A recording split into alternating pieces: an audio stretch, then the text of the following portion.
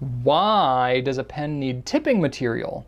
And why is rhodium such a common material for that task? All right, so first, Mark, I'm going to give a little bit of clarification for you. Rhodium is not actually the tipping material. Rhodium is a plating that's used on the nibs to make them a silver color. Um, so, for example, when you have your typical nib, right? Um, I have this Pelikan M800. So this Pelikan pen has gold and it also has this non-gold color. Well, the nib itself is gold. It's 18 karat gold and uh, it's a yellow gold. So anything that's not yellow gold has some kind of plating that's over top of the yellow gold. So all the silver parts you see here, that's rhodium. That's a rhodium plating. It's an electroplating that's done on top of the gold to make it a silver color. That's what's going on with rhodium.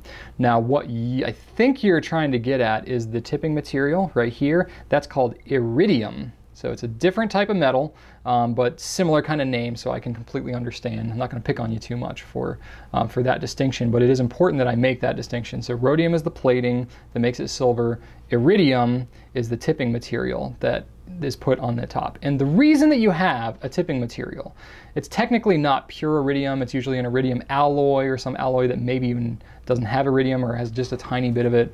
But that's what's very commonly been used in the past. Uh, iridium, it's a very, very hard wearing metal. It's harder than gold uh, and harder than stainless steel even. So that's why you see even a lot of stainless steel nibs will have the tipping material on it.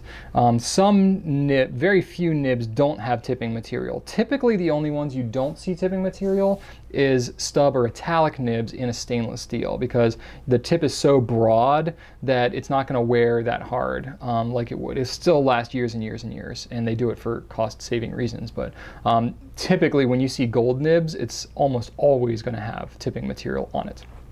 Um, so um, the reason they do that is because it's harder wearing. Basically, if you think about it, like when you're writing uh, um, a pen on paper, paper feels smooth to your fingers, but if you look microscopically at it, it's it's very kind of rough and textured, and it's it's a very very very fine abrasive. So over time, as you're writing, it creates friction, and it's going to wear down the metal of your nib. Now it takes a very long time, but eventually that's what's going to happen. So by putting a harder wearing metal on the tip, that is going to allow it to last longer before it's all worn out. Now, I mean, it, literally, it could take decades of heavy writing to see wear on something like an iridium tip. But if it wasn't tipped and you had, say, stainless steel, it might be three years or five years or something like that, which, you know, it's not the end of the world, but if you have a pen that you paid a little bit of money for and you don't want it to show wear after a few years, um, and gold will wear even faster than that um, because gold is softer than stainless steel. So um, that said, uh, that's pretty much the reason why they do tipping materials, to make the nib last longer because of the abrasive that that paper um, ends up doing.